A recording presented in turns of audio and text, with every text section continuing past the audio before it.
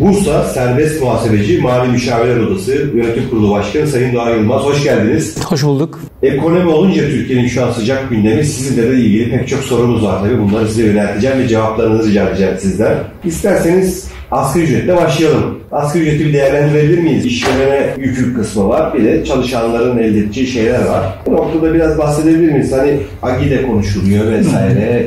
Ne olacak hocam sizin gözünüzden?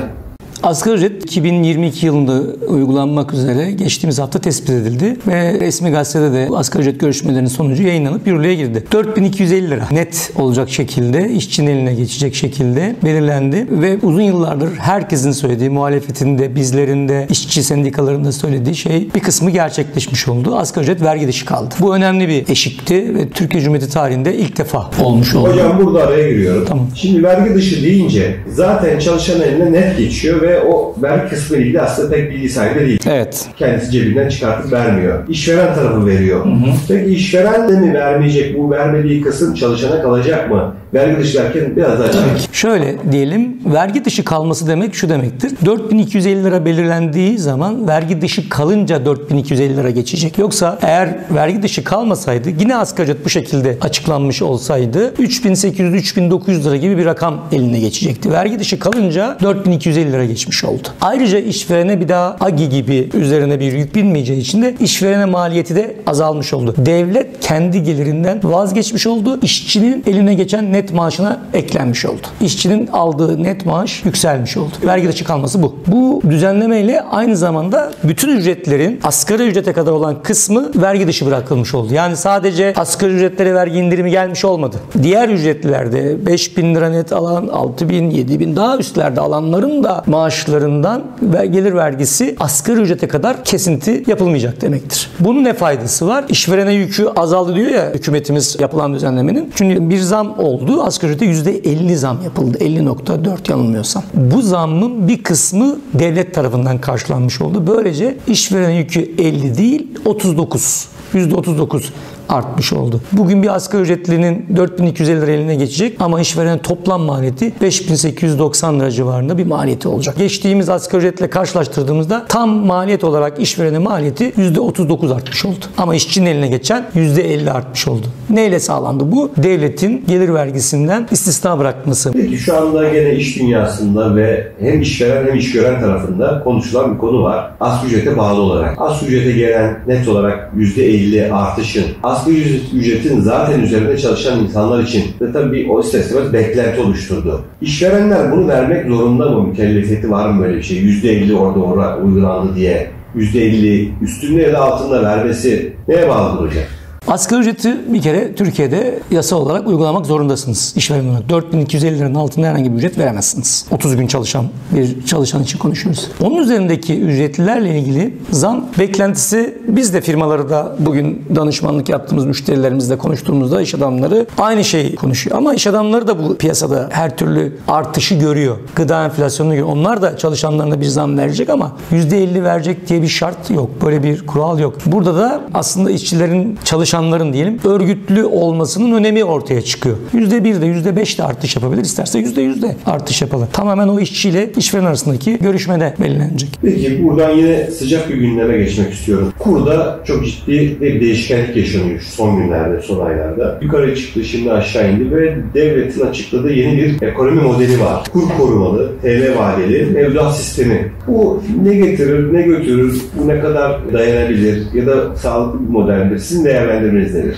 Dünyada uygulanan, bizlerin de eğitimini aldığı ekonomi derslerinde, teorilerinde şu anda bizim hükümetimizin uyguladığı ekonomiyle ilgili hiçbir kayıt ve akademik bir çalışma henüz tespit edilemedi. Bizim burada söyleyeceğimiz şey teknik konu olabilir sadece. Evet, faize karşı olabilirsiniz. Bu bir siyasi iradedir, siyasi karardır. Ama deneme yapıldığı söyleniyor. Bu denemenin sonucunun açıkçası biz de merak ediyoruz. Faiz sebep enflasyon sonuç deniyor ama bizim bugüne kadar okuduğumuz tüm ekonomi kitapları, teorileri maalesef enflasyonun sebep faizin sonuç olduğunu ve bugüne kadar yapılan hatta AK Parti hükümetleri zamanında yapılan ekonomi politikalarında, uygulamalarında da bunu çok net bir şekilde görmüştük. Açıkçası bizler bunun geçici bir rahatlama sağlayacağını düşünüyoruz. Hele hele bu kur korumalı mevduat hesabı hesabı. Merkez Bankası bu konuda 21 Aralık'ta bir tebliğ yayınlandı ve şu anda uygulamada 90 günden başlayıp 3, 6, 9, 12 aylar şeklinde mevduatınıza kur koruması geliyor. Ama burada 4. maddede diyor ki 20-12-2020 tarihinde mevcut olan ABD sterlin, ABD doları sterlin ve euro cinsinden döviz mevduatlarınız var ise size kur koruması eğer o döviz mevduatlarını bozdurup TL'ye geçerseniz vadeli kur koruması veriyorum diyor. Henüz TL mevduatı olup bunları kur korumasını almak isteyen vatandaşlarımızla ilgili bir açıklama henüz gelmedi. Bununla ilgili yasal düzenlemeyi de Hazine ve Maliye Bakanlığı'nın yapacağı söylendi ama bekliyoruz. Açıkçası kuranın üzerinde bu bir baskı yaratacaktır ama bu ekonomi politikasının altını doldurulması gerekiyor.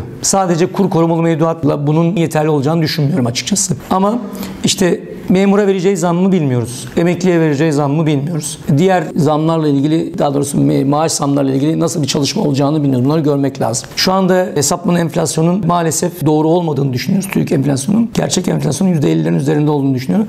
Önümüzdeki yıl resmi TÜİK'in açıkladığı enflasyonun da %40'ları bulacağını düşünüyoruz. Bu açıdan program sadece kur korumalı mevduatla yürütülebilecek gibi durmuyor. Maalesef hüsranla sonuçlanma ihtimali çok yüksek diye düşünüyorum. İnşallah siz yanılırsınız diye. İnşallah diyorum. Peki buradan kurumlar vergisi oranlarına da değinmek istiyorum. Şu anki durum nedir? 2022 yıl için öngörülen ya da açıklanan yeni bir oran var mı? İşletmeler bundan nasıl etkilenecekler? Kurumlar vergisinde geçtiğimiz yıl, daha doğrusu hala daha içinde olduğumuz 2021 yılı için %25 oranı uygulanıyor. Halbuki daha önceki yıllarda hükümetin de politikası kurumlar vergisi oranlarını %20'nin de altına indirmekti. Hatta bir dönemde bunu yaşadık. Bu yıl bir puan indirileceğiyle ilgili Sayın Cumhurbaşkanı'nın ifadesi var. Bu konuda yasal değişiklikle Maliye Bakanı tarafından hazırlanıp meclise gönderilecek. Bu konuda yetkisi de var hükümetin. Bir puan bir indirim olacağı söyleniyor. 25'ten 24. 24. Peki geçen yıl 23'tü de 25'e çıkarıldı. Bir yılda da denmişti sanki değil mi? Evet. 23'e tekrar dönecek önümüzdeki yıl. Ondan da bir puan indirim olduğu takdirde 22'ye dönecek önümüzdeki yılın gelirleri için. 2022 gelirleri için. 2022 yılında %22'den mi? %22'den hesaplanacağını e, bekliyoruz. İlerledilen bu. Peki buradan 2021 yılı nasıl geçti? Ülke bazında ekonomik değerlendirme rica etsem sizden. 2022 ile ilgili öngörüleriniz, beklentileriniz nedir diye bir özet rica etsem.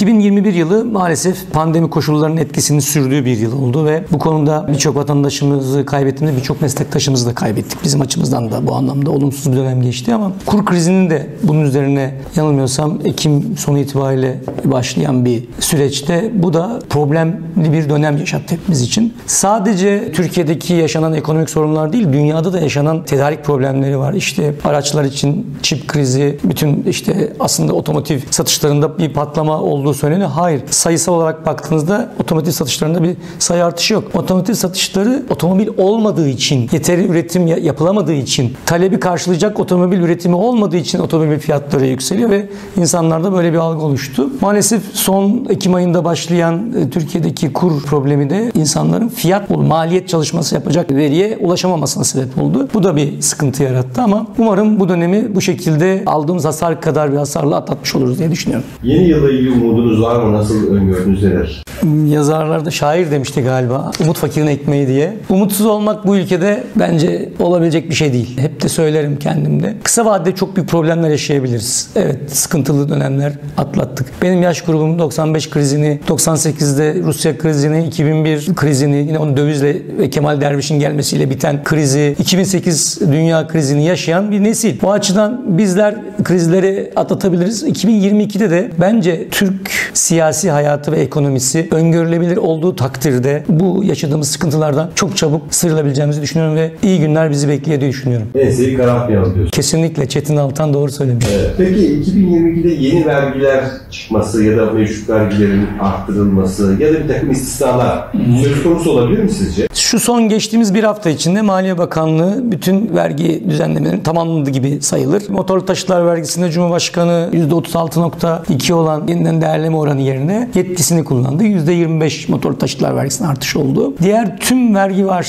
ve yeniden değerleme oranı olan 36.20 oranı korundu ve bu şekilde yürüyor. Sadece emlak vergisinde onun yarısı orada da yasa gereği %18.1 uygulanacak. Geri kalan tüm vergilerimiz bir değişiklik, bir ekleme şimdilik beklemiyoruz. Ama pasaport harcından tutun da ehliyete kadar bütün kamu hizmetlerine %36.20 zam geldi ve önümüzdeki yılda da uygulanacak. Peki Sayın Yılmaz, enflasyon düzeltmesi diye bir kavram var. Yeni yılda da geçerli olacak bir düzenleme bu. Neyi ifade ediyor, ne anlamalıyız buradan? Ne gelecek başımıza? Şirketleri ilgilendiriyor bu. Tabii ki şirketleri ve daha çok da mali müşavirleri ilgilendiriyor. Enflasyon muhasebesi en son 2004'te uygulandı. Bu şu demek. Varlıklarınızı, borçlarınızı 2004'te uygulandığı için 2004'ten bugüne kadar oluşmuş olan farkları muhasebe kayıtlarına geçirmek demek. Yani 2004'te almış olduğunuz bir eğer fabrika binanız varsa bunun bugünkü değerine yükselmesini sağlamak. Bunun yasal zorunlulukları var. Ne gibi? 3 yılın toplam üfesinin %100'ü geçmesi gerekiyor. Şu anda %100'ü Kasım ayı itibariyle geçmiş oldu 3 yıllık. Hatta Aralık'ta da eksi üfe çıkmayacağını varsayarak ki o ihtimal gözükmüyor. Önümüzdeki yıl ayrıca 3 yılın enflasyon toplamının da %10'u geçmesi gerekiyor. Bu yıl %10'u geçti zaten.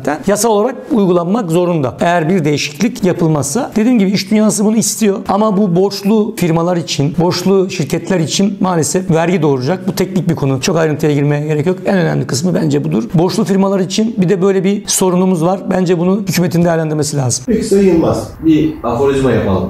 Bir şirket olduğunu düşünecek olsak Türkiye'nin. Bilançosuna baktığınızda bir mali müşavir olarak ne görüyorsunuz aktifinde, pasifinde? Olumlu mu sizce göstergeler? Şimdi tabii herkesin bilançoyu bilme ihtimali yok. Şöyle elimle tarif edecek olursam bilançonun bana göre sol tarafı aktifleri gösteriyor. Sağ tarafı da pasifler. Aktifler varlıklarınız. Kısa vadeliler duranlar diye dönem varlıklar ve duran varlıklar diye ikiye ayrılıyor. Bizim kısa vadede evet varlıklarımız çok yok belki ama uzun vadede bizim varlıklarımız çok zengin. Kısa vadede borçlarımız çok fazla. Ödenecek bütçemizde açıklar var. Yurt dışında borçlarımız var, şirketlerimiz var ama uzun vadeye baktığımızda orada da sermayemiz çok kuvvetli. Onu anlatmak istiyorum. Nedir burada bizim? E, kısa vadede evet belki biraz karamsar olabiliriz. Ama genç bir nüfusumuz var. Bu tip kriz dönemlerinde deneyimli bir iş dünyamız var. Deneyimli danışmanlarımız var. Mali müşavirlerimiz var. Çok çabuk bu sarmaldan kurtulabilecek. Bu büyük bir varlıktır. Büyük bir sermayedir. Ve en önemlisi de yetişmiş insan gücümüz var. Bugün birçok gencimiz yurt dışına gitme hayalleri kuruyor. Yurt dışında ne yapıyor bu insanlar? Yabancı sizi kara kaşınıza, kara gözünüze almıyor ki. Doktorunuzu alıyor, mühendisinizi alıyor, yazılımcınızı alıyor. Bu insanlar bizim büyük bir zenginliğimiz ve varlığımız. Bu açıdan ben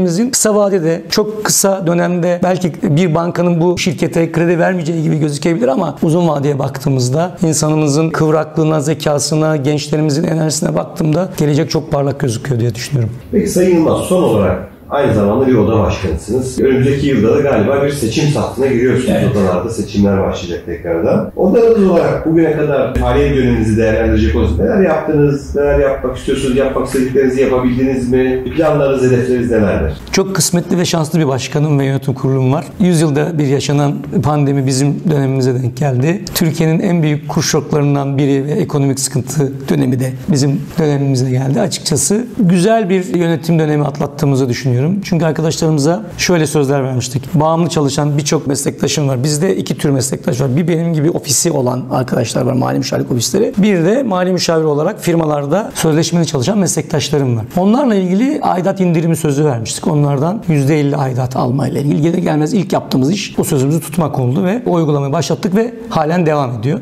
Bağımlı çalışan arkadaşlarımızın aidatı %50'ye indirildi. Bir de onların bütün çalışan meslektaşlarımın çalıştıkları firmaların sahiplerine birer mektup gönderdik ve çalışan meslektaşlarımızın, mali müşavirlerin hangi süreçlerden geçip mali müşavir olduklarını, hangi yeterliliklere sahip olduklarını iş dünyasına, iş adamlarına, iş kadınlarına anlattık ve onların yanlarında olduğumuzu bütün iş dünyasına söylemiş olduk. Ayrıca iş dünyasıyla, iş insanları dernekleriyle birebir iletişim kurduk. Bu siyat, müsiyat, Balkan siyat, Rumeli siyat, Balkan Türk siyat bunların hepsiyle birebir iletişim kurduk ve onlarla paydaş olduğumuzu ve iş dünyasının yaşadığı sorunları birlikte çözebileceğimizi, birlikte işbirlikleri yapabileceğimizi göstererek kendi meslektaşlarımıza bu konuda iş dünyasıyla işbirliği yaparak kendi meslektaşlarımızın neler yaptığını, mesleğimizde neleri ifa ettiğimizi iş dünyasına anlatma imkanımız oldu. Bir de bütün Bursa'nın da yaşadığı, Türkiye'nin de yaşadığı bir iş problemi var, işsizlik problemi var. Bununla ilgili de meslektaşlarımızın yanlarında çalışması için yardımcı eleman yetiştirmesiyle ilgili bir projemiz vardı. Onu da Uludağ Üniversitesi ile işbirliği yaparak bugünlerde dördüncü ya da beşinci kurunu düzenlediğimiz bölümünü düzenlediğimiz muhasebe yardımcı personel yetiştirme kurslarına başladık ve Uludağ Üniversitesi'nin hocalarımızla bizim meslektaşlarımızın birlikte yürüttüğü bir programla beraber gençlerimizi yardımcı personel olarak yetiştirip iş dünyasının, ekonomi dünyasının hizmetine sunuyoruz. Onlar da bizde yetişen arkadaşlar, bizde kursa gelen arkadaşlar yarısından çoğu çok çabuk iş bulmaya başladı. Bu da bizim için önemliydi. Bir de odamızın ekonomik maalesef o olumsuz e, etkilenmişti biz göreve geldiğimizde. Onları toparladık. Tasarruf önemlerini dikkate aldık ve mümkün olduğu kadar emekli olan personelimizin yerine yeniden personel almadan birçok hizmeti e, dijitale de taşıyarak e, yeni e, medya düzeni biz de bu şekilde faaliyetlerimizi yürüttük. Söz verdiğimiz fakat yapamadığımız bir tane konumuz var. O da Turgay Başkan'dan sözünü aldığımız Nilüfer Belediye Başkanı'ndan sosyal tesisti. Maalesef pandemi koşulları içinde insanların toplu halde bir yerlere gidip gelemeyeceği hatta yiyecek içecek mekanlarının da kapalı olduğu dönemde böyle bir işlemi yavaşlatmayı uygun gördük. Sayın Başkanımızla da konuşarak önümüzdeki dönemde normalleşme başladı. Tekrar insanlar sokağa çıkmaya başladı. Bizler de yavaş yavaş sokağa çıkmaya başladık. Zaten biz hiç sokaktan geri çekilmedik açıkçasını söylemek gerekirse. Bu aşamada tekrar Nilüfer Belediyesi ile görüşmelere başlayıp en azından yerin tahsisini yapmayı planlıyoruz önümüzdeki seçim sürecinden önce. Peki o zaman merak edileri sorayım ben burada. Yeni dönem için aday olmayı düşünüyor musunuz tekrar? Bizim Mali Müşavirler Odası'nda iki mesleki siyasi grup var. Birisi Çağdaş Grup, bizde Meslekli Dayanışma ve Birlik Grubu. Ben Çağdaş Grubun adayı olarak seçimlere girdim ve öyle başarılı olduk arkadaşlarımla birlikte. Bu dönemde arkadaşlarımızla birlikte oturduk, karar verdik ekibimle birlikte ve önüm dönemde de bir dönem daha aday olma kararını verdik. Bizim yasamıza göre de zaten en fazla iki dönem bir başkan görev yapabiliyor. Daha fazlasının ben ihtiyaç olmadığını düşünüyorum. Çağdaş Grup'ta 9 Nisan günü e, iki arkadaşım daha aday benimle birlikte. 3 arkadaş olarak ön seçimlere gireceğiz. 9 Nisan'daki ön seçimleri kazanan arkadaşım 4 Haziran günü genel seçimde diğer meslekte birlik ve dayanışma grubu adayla birlikte yarışacak. Umarım orada da başarılı olacağız ve arkadaşlarımızın yüzünü kara çıkarmayacağız diye düşünüyorum. Peki gelecek genel kurulda başarılar dileyelim. Teşekkür ederim. Sayın Yılmaz görüşlerinizi bizimle paylaştığınız için teşekkür ediyorum. Ben de teşekkür ediyorum.